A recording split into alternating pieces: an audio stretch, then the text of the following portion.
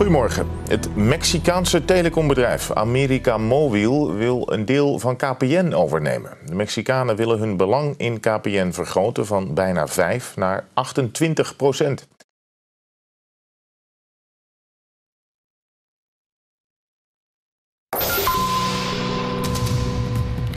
Zeker vier doden bij ingestorte schaatsbaan in Duitsland.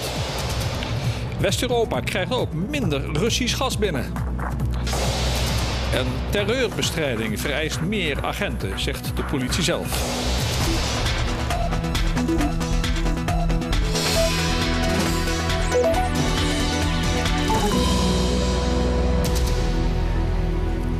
Goedenavond. Een drama in het zuiden van Duitsland. Het dak van een overdekte scheidshal is daar ingestort.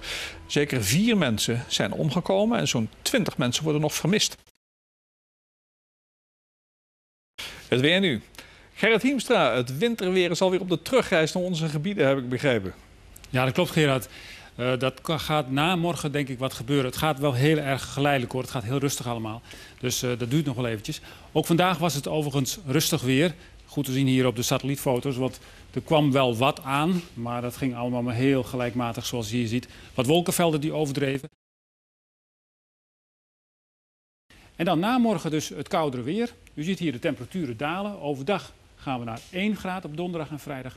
En ook de nachten worden kouder met lichte vorst. En tegen het weekend misschien wel eens een nachtje met plaatselijk wat matige vorst.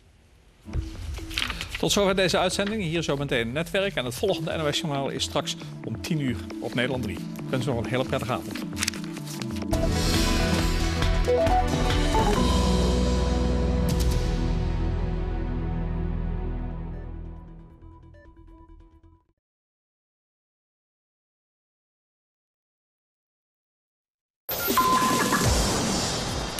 Nederlandse sporters voor winterspelen zijn er klaar voor. Wat zijn de populairste kerstfilms? En Lianne voor de camera over haar groeiprobleem.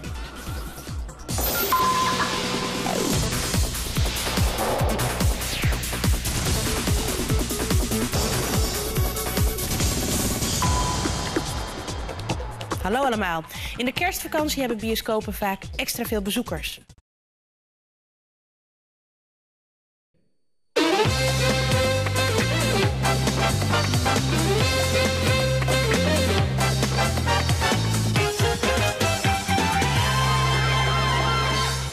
Dames en goedenavond. Het is 2 januari. Het Sportjournaal op deze eerste maandag van 2006 biedt zeer veel voetbal... en heeft natuurlijk ook aandacht voor de winterspelen.